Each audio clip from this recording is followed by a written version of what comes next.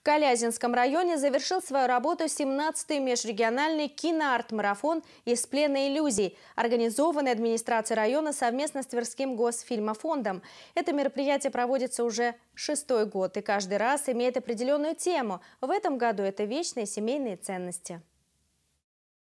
В день закрытия марафона для школьников и студентов в Калязине организовали различные познавательные секции. Одна из них была посвящена спорту и здоровому образу жизни. С ребятами пообщался специальный гость Александр Шабров, абсолютный чемпион Европы по пауэрлифтингу. Все, что происходило в моей жизни, особенно спорт, это все благодаря тому, что у меня есть моя любимая семья. В 14 лет я пошел работать в депо, заработал свои первые деньги, купил моим холодильник. То есть сделал ей замечательный подарок и считаю себя мужчиной. Вот я вам желаю, чтобы вы все чувствовали. Все, что вам дает судьба, все, что вам дает вера, все, что вам дает любовь. А спорт это просто единственная маленькая направляющая, которая вас также может направить ко всему этому.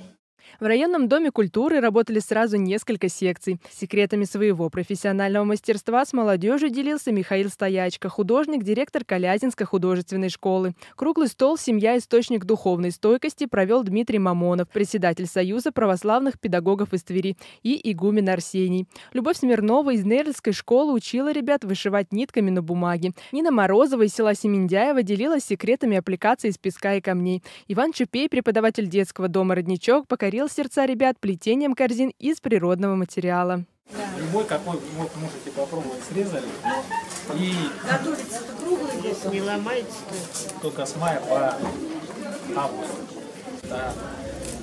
Надо быстро делать, потому что высыхает материал. На заключительном концерте кино-арт-марафона в зале Дома культуры с молодежью общались организаторы и гости. Все они говорили о важности быть духовно и нравственно чистыми, любить свою семью и малую родину, стремиться быть полезным ей, а для этого усердно учиться, беречь и укреплять свое физическое здоровье.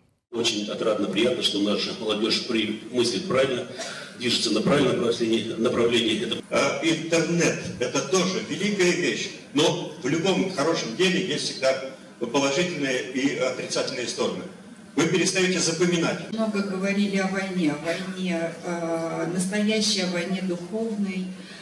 А я хочу сказать о мире. Э, когда каждый из нас будет нести мир в этот мир – Тогда будет мир и благоденствие.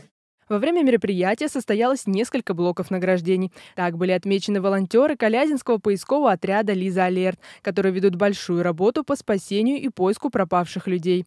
Награждены победители муниципальных конкурсов сочинений, видеороликов и волонтеры района. Украсили концертную программу творческие выступления калязинской молодежи.